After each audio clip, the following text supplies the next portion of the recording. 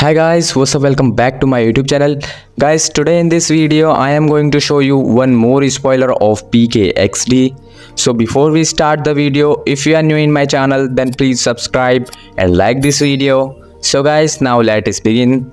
So yesterday I got a spoiler from the PKXD as always so i got something special in this spoiler. I will tell you everything about the upcoming outfits and the spoiler. So watch this video till end. Now guys let's start it.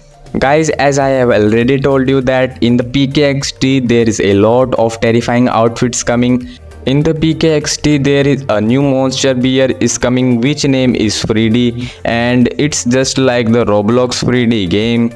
So guys this new monster is coming to our PKXD.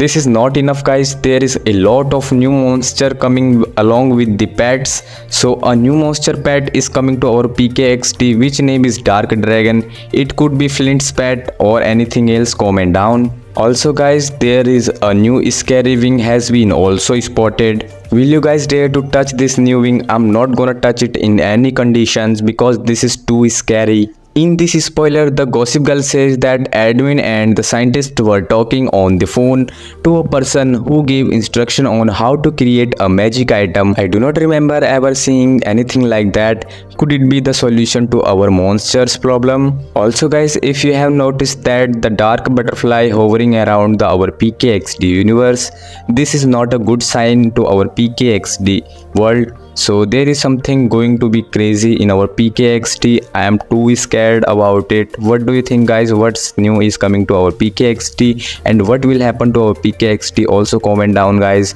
We will meet soon. Till take care. And if you're not subscribed to my channel then please subscribe my channel. Also like this video. It really appreciate me to make more videos guys. So bye bye guys. Have a good day. Thanks for watching